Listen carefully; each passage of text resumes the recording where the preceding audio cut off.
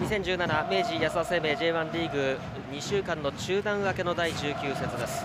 鹿島甲府の一戦。新井が抜ける。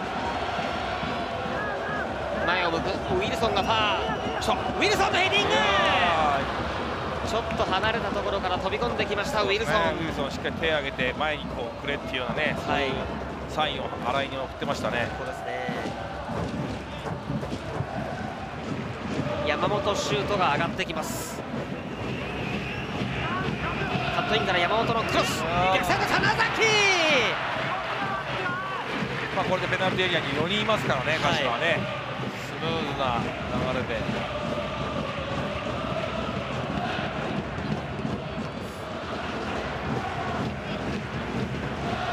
中村が走る、うん、土井に入れた。面白いこれうまいな土井の折り返し。逆サイド山本シュート。鹿島の強みクロスが上がった時に実は山本がよくあそこにいます、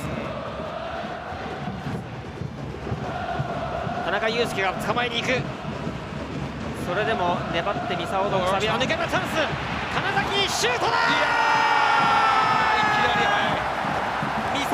食いつきゴール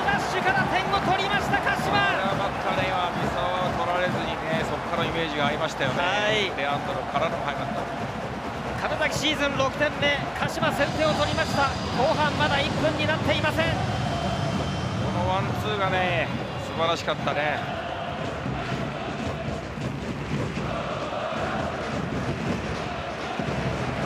中村敦隆ワンツー。狭い。レアンドロもう一回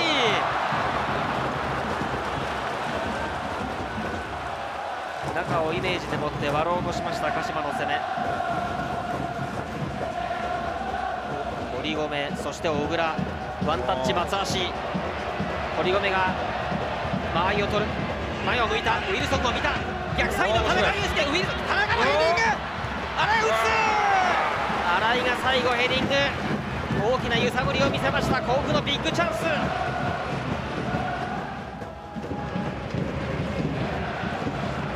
鈴木のパスです。金崎のクロス鈴木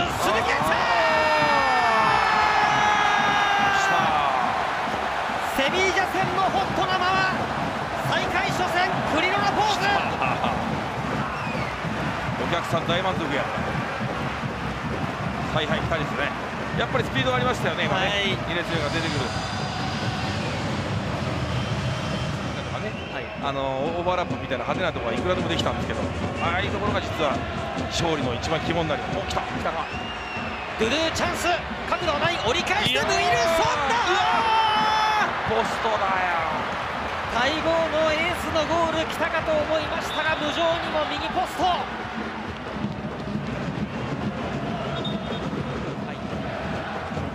レアンドロ。リターンが来て阿部が逃げた。チャンス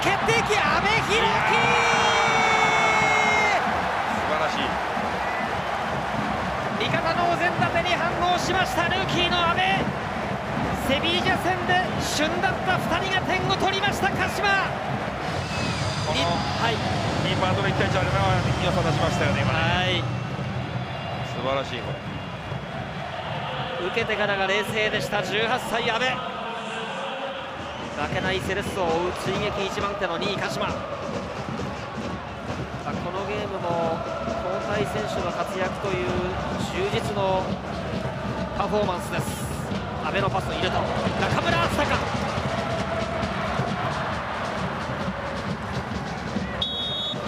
これでゲーム終了の笛が鳴りました。金崎ムー鈴木優馬阿部寛樹。3人のスコアラーの得点によって鹿島アントラーズがヴァンフォーレ甲府を完封で下しました。